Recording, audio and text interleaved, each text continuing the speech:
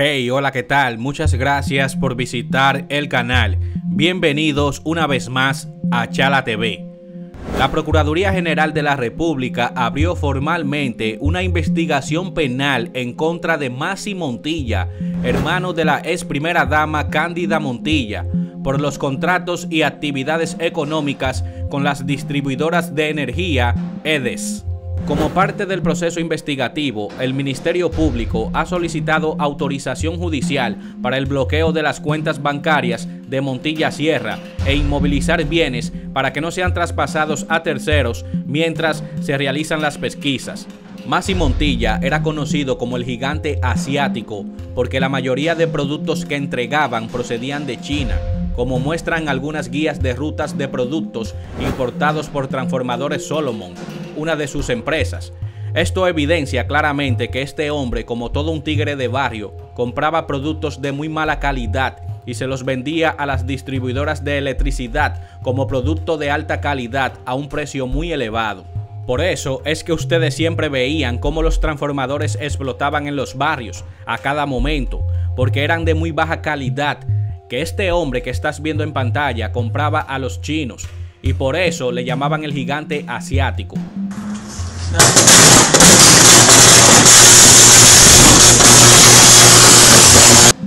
La información sobre el bloqueo de cuentas fue dada a conocer por los propios abogados del investigado mediante un comunicado colocado en un espacio pagado en diferentes medios de comunicación escrita. Los datos suministrados por Montilla Sierra a través de sus representantes legales dejan entrever que desde hace más de dos meses la Procuraduría General de la República investiga sus contratos con el Estado, mediante los cuales habría obtenido contratos por unos 13 mil millones de pesos. Montilla dijo que ha ganado entre 8 a 15 procesos con la empresa distribuidora del Este, Este distribuidora que según dijo ya les vendía desde antes del 2012, cuando Luis de León, también cuñado del expresidente Medina, pasó a dirigirla. En total, desde el 2013 a la fecha, el cuñado del expresidente Medina vendió a la empresa distribuidora del Este, Edeeste, 2.600 millones de pesos, a Edenorte 5.700 millones y a Edesur 5.033 millones según explicó el propio beneficiado. Pero lo que no dijo es que esos productos son chinos y de mala calidad, lo cual eso viene siendo una estafa al Estado dominicano, porque los vendía como que eran de alta calidad.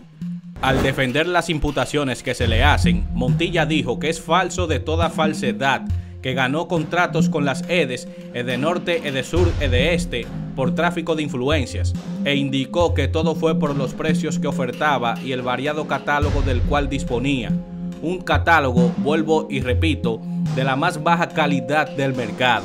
A través de las empresas Transformadores Solomon Dominicana y Electrocable Aluconza, Montilla Sierra suplió materiales ferreteros y eléctricos tanto a la Edesur, Edenorte y Edeeste. Algunas de las adjudicaciones fueron realizadas a través de procesos de urgencia. Ese era el tigueraje de ellos. Decir que las compras eran urgentes. Sí, claro, pero para robar. Miren señores, yo les confieso que he perdido las esperanzas de que estos corruptos sean condenados. Muchos de ellos seguirán riéndose de nosotros en nuestras caras y seguirán disfrutando su fortuna dinero que nunca le llegó al pueblo dominicano, pero sí a sus bolsillos. Y lo malo de todo esto es que dudo mucho que en este país haya consecuencias porque la ley está diseñada para proteger estos delincuentes de saco y corbatas.